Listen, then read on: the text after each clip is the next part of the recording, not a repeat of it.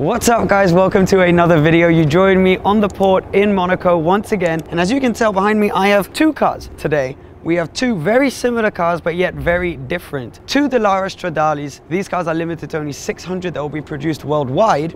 But I was walking around them in the Stars Monte Carlo dealership earlier and noticing all the differences. And I thought it might be something you're interested in. If you love this car, if you've never heard of it before, just how crazy you can go with the spec and how much of a difference it can make. So this is kind of perfect that we can have a kind of standard car behind us and then another one with a massive, massive spec. So if you come close, first of all, let's talk about the color. This one is obviously yellow paint. Now it has around it various different carbon fiber details like the wing mirrors, uh, down on the side sills and around front with the front splitter. So the carbon fiber are just little accents around the car, but the main body color is painted. All carbon underneath, but painted over that. That is the standard look. You can opt to have fully exposed carbon fiber like this car. So you can either get it in fully exposed black carbon like you've got on the engine cover right here, or in fully exposed colored carbon fiber like this one which is green. Let's quickly talk about the engine in this thing. It is a four-cylinder, 2.3 litre turbocharged engine producing 400 horsepower, which is a lot of power considering that these things weigh just over 800 kilos. Absolute track weapons. You'll see when we look at the interiors, they are beasts. I actually did a very quick video driving one of these, that one actually.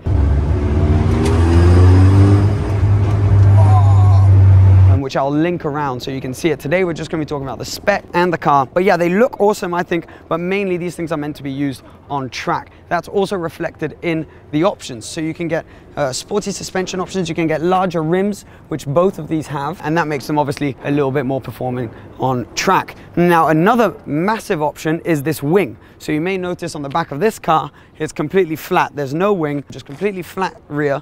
The wing adds 820 kilos of downforce at 280 kilometers an hour. So this thing properly sticks the rear of the car down. And obviously, if you're on track, the downforce you'll be getting through the corners is not to be underestimated. The spec on this is basically fully specced. So you've got the wing, you've got the exposed carbon fiber, and you've also got these little uh, butterfly doors, winglet doors. So you can opt to have it fully, fully exposed. So you can even have it if it's standard without the windscreen. So this one's purely got the windscreen option just to be able to drive it around town a little bit more, but no roof and no what they call T-frame, which comes around the middle, which you can attach the doors to. This one, however, has the whole lot.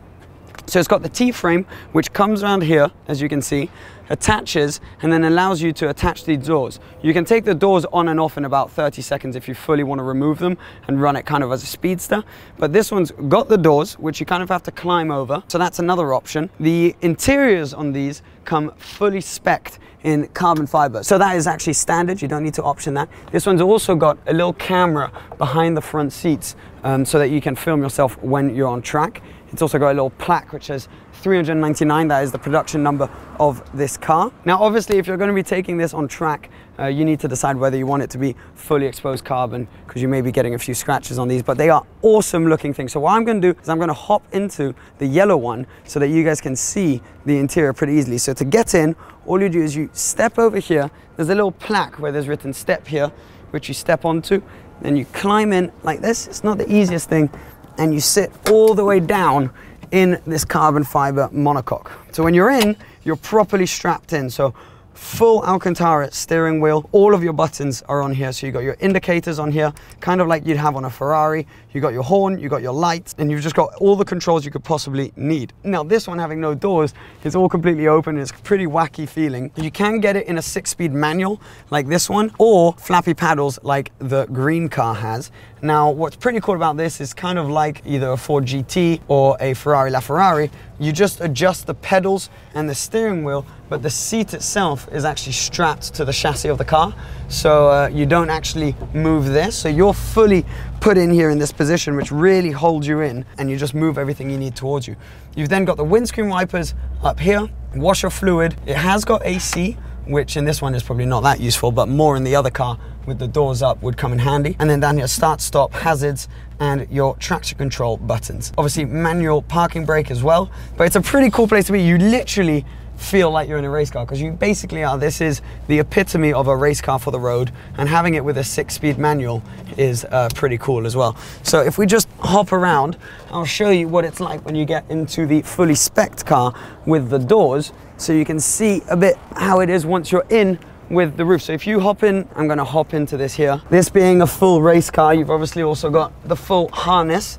And then if you close the door, you just grab right here, close that door like that, and you're in. So this is where your air conditioning and stuff would come in a little bit more handy. This one, you've also got adjustable ESP, so you can pick, ooh,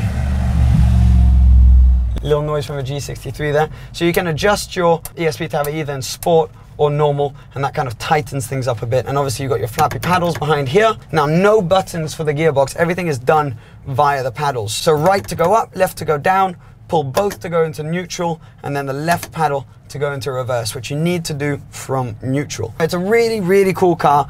I didn't really know too much about these, so that's why I really wanted to share it with you. There's not that much information out there. And the fact that Stars Monte Carlo have two of these available, but also they're the official dealership, so you can go in and you can spec one is pretty cool. And when uh, Johnny from Stars Monte Carlo was talking to me about how much you could change from one spec to another, I just thought I'd share that with you for this video on a Friday, which is always about someone else's car. But I hope you enjoyed that, guys. I hope you enjoyed a little look around these absolute beasts. They're beautiful. Dallara, obviously a company, the cars are built in Italy, but they've actually got a massive track record in terms of helping build parts for the LaFerrari. They build a lot of the main parts for Bugatti, so massive track record. It's not a new company which has come out of nowhere. They've just suddenly decided to produce their own car, the Stradale.